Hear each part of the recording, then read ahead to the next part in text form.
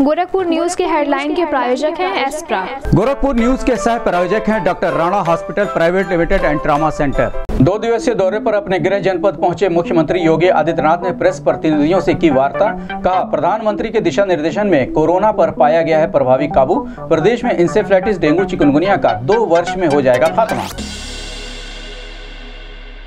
प्रदेश के मुख्यमंत्री योगी आदित्यनाथ ने रविवार को एनएक्सी भवन के सभागार में अधिकारियों के साथ कोविड संक्रमण और विकास कार्यों की की समीक्षा, टेस्टिंग क्षमता बढ़ाने के साथ विकास कार्यों में तेज़ी लाने के दिए निर्देश कहा। प्राइवेट चिकित्सालय में शासन द्वारा निर्धारित दर से अधिक शुल्क लेने वालों के विरुद्ध की जाएगी कार्रवाई।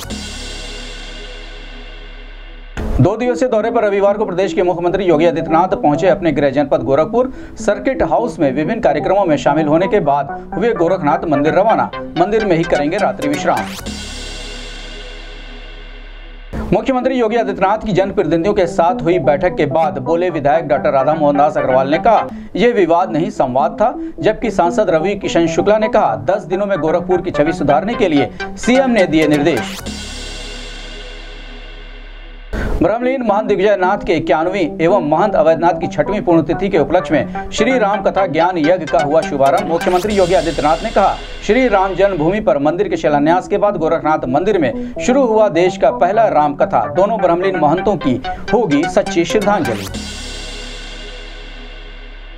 गोरखपुर में रविवार को मिले दो सौ बयासी नए कोरोना संक्रमित मरीज़। ज़िले में कोरोना मरीजों की संख्या बढ़कर 9,111 एक कोरोना संक्रमित मरीज़ की हुई मौत। 6,186 कोरोना संक्रमित मरीजों का इलाज होने के बाद स्वस्थ होकर जा चुके हैं घर। कुल एक्टिव केस हुए दो हज़ार सात सौ बानवे। सीएमओ डॉक्टर श्रीकांत तिवारी ने दी जानकारी।